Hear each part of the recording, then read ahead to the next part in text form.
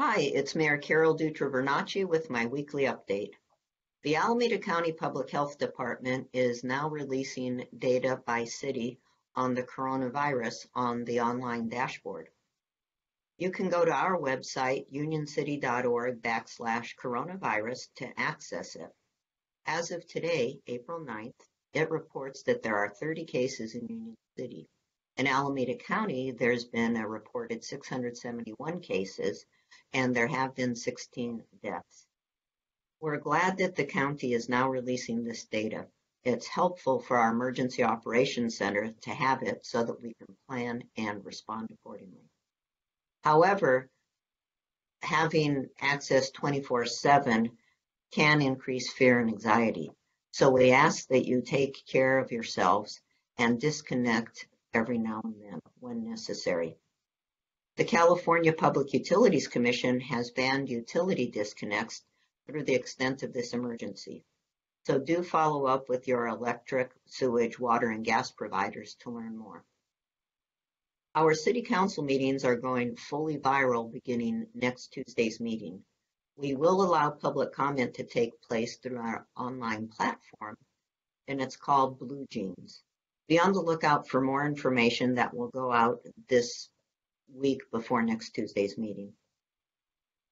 We want to thank our Union City business, Mexico International, for donating 72,000 gloves to us.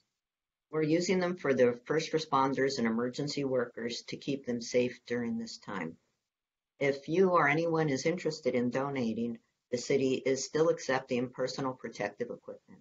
Go to our website to learn more. Let me remind you that our website, unioncity.org backslash coronavirus, has comprehensive information for our residents and businesses on food services, employment benefits, social services, and more. We also ask that if you know of anyone who lacks access to computer or Wi-Fi, to call them and make sure they know they can tune into our Union City Channel 15 for updates and resources from us. Our farmers market is still open on Saturdays. They are using social distancing protocols so that everyone can remain safe and still enjoy the fresh produce.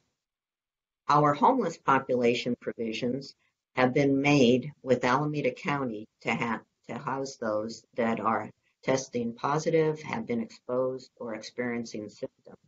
And our Union City Caravan program has partnered with them as part of the outreach team. As our shelter in place continues, and it appears to be working, people may be feeling more and more isolated. We realize how important mental health is, so please do pick up the phone and check in with your family or friends and neighbors. This does make a difference. The next two weeks are critical, so please do stay inside as much as possible. We will get through this. Until next week, please stay safe.